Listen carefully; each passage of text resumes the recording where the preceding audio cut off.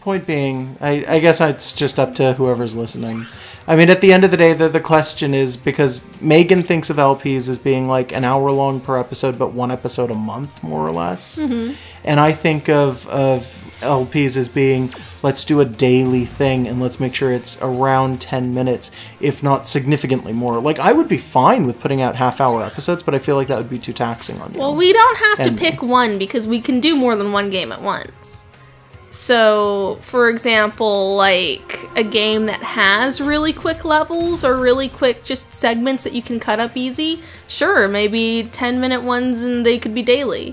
And then ones where it's like kind of longer, like this. This is honestly something where it, it, it's since it's like turn based random battles, there's a lot going on that takes a while. Something like this, RPGs could be longer episodes, but we could have a long series and a short series running at the same time. Nothing wrong with that. You've got like uh, no health. Oof. Yeah. Okay, we're talking a lot about things that aren't the game. We're, we're talking a lot about things that aren't the fact that we're fighting a boss right now who's Yeah. an optional boss who's supposed to be very strong. Did we even see what his design was? Um, he's a weird dragon. I think his name is Darkdramon. I, I didn't even like catch the name on the the bottom thing. I'm just going off of what I vaguely know about Diggles. I'm pretty sure that's Darkdramon. What do you What? what happened? I don't know. What did you try to do? It just took a while to load. I, I was gonna Oh. do a thing and then change my mind about what to use it with, and then was like, okay, Are you using two items at once? No. it's it's Oh, something that just gets everyone. All right, that makes sense then. So when you choose an attack, let's actually look at his name before you Yeah. do it. Yeah, that's Darkdramon. And he's Uh, kind of ugly. He's like a, I think he's like a weird robot dinosaur again. Which is Again? basically just what Digimon are. so yeah, It did not standard always, Diggle. but it, it kind of has changed into that over the the generations of Diggles Oh come no, there were a lot of robot dinosaurs in early Diggles. Um, in okay, in the series, yes, but when you look at them as a whole and you look at like the original release for the V Pets, there were no robot dinosaurs. Not that I can think Mm-hmm. What of off the about top of my Fat head. Baby? Fat Baby's in it, but I don't think he actually has his his canon final. Okay, then I don't know. I like I I could be wrong. I could be significantly wrong, but I'm almost positive that in the the original like V-Pet keychains and everything, um, I think a the highest they went was ultimate because they they didn't think that they needed a stage above that.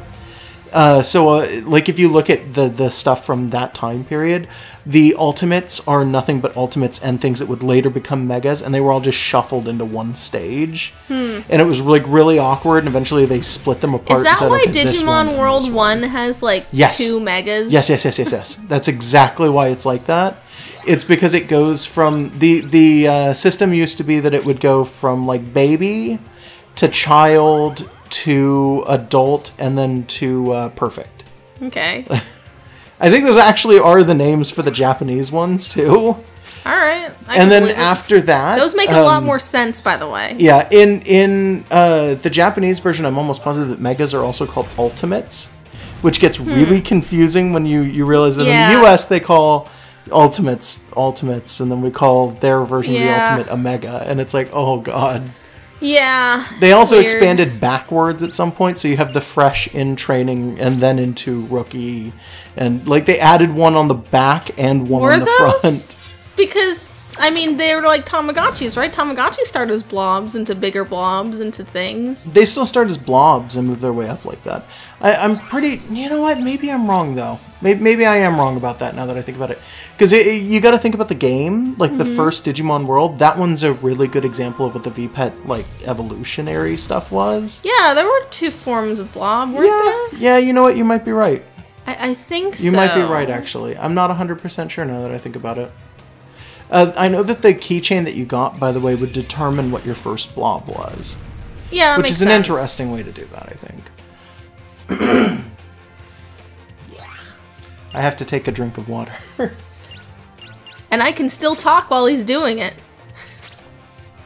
He's the best We're like the best puppet. tranquiloquist. Tranquiloquist. He's the best ventriloquist you'll ever meet. I'm the best tranquil ventriloquist you'll ever know. No, no, it's someone who's who's like someone who's able to put elephants to sleep while projecting their voice. This guy is actually really strong. yeah, this guy was clearly someone we didn't want to encounter right after clearing this area. You know what's really scary is that you can encounter this guy immediately after ending this area. Well, I got a 9999 on him. I I think if you go back and talk to Grandpa at any time, he'd have probably told you that key. But from from what I vaguely understand, just skimming through stuff about the bonus bosses, like I, I said, I try to skim and I try to ignore the names and Mm-hmm. yeah, ignore you're looking to avoid spoilers. Yeah, but Which is hard on like GameFAQs. Yeah, it is. But from what I did actually see on GameFAQs, this particular guy is available immediately after Hmm. you beat this area. And there were people, this was the one that, that people were talking about. They went in at level 20, and he was way too tough for them to beat. And it's like, we're I'm looking at this now, and we're like level 60, and he's still. No, we're not. We're like rough. level 45. Are we? I thought we were Yeah, no, we're not. Oh. oh, well, then I'm just bored now. We're not even worth it, man. We're fine. I don't even know how far this game's really going to need us to level. Like, how strong is the final boss going to even be? Uh, we've already fought one phase of him. Yeah, I mean, he's going to get stronger after that, though. Hopefully, yeah.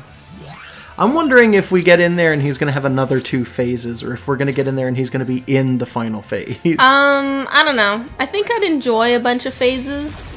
Uh, I would enjoy it too, but I think if Not that we don't already know what they'll look yeah, like. Yeah, I was gonna say like we know what these phases are though, Yeah. so that kind of makes it a little boring, and they're not.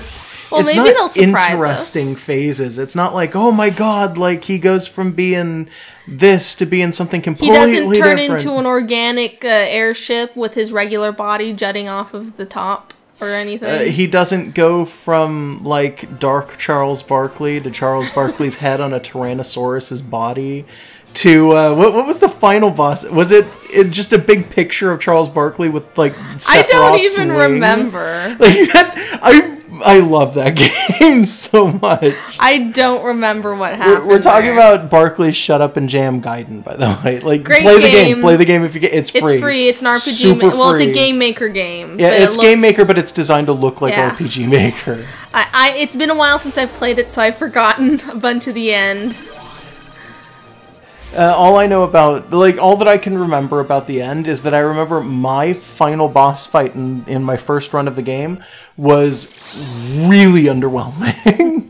Because I did the optional boss part of the way through the Which game. Which I didn't even realize was there when Yeah, I played it. they, I, I did an optional boss who dropped an item called like the golden potato, and you can use it, and it calls in like Spuds, the soldier, and he drops in on a helicopter and pulls out a gun and just shoots the whoever you drop him in front of, and it's an auto death. like it kills anything, so you can just you get it right before the final boss, and it's like, what do you expect to do I here? love the, my favorite part of that game is the save function.